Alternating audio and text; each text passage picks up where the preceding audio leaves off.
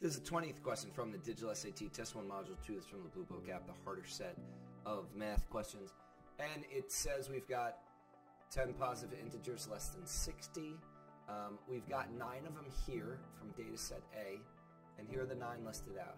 And it says that the mean of these nine integers is 42, and we need an integer that is greater than the mean of data set A is an integer greater than 42. The largest integer in data set A. You just plug this into Desmos. Check it out. Here I've confirmed that the mean of these nine integers is 42. If I throw another unknown integer in there and make the mean equal to 43, what I get if I zoom out is I get a line that goes through 52.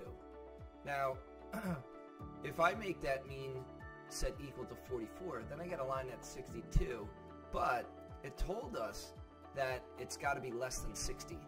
So it's equal to 43, and your answer here, your x would have to be 52. Bubble it in, move on, and you're a rock star.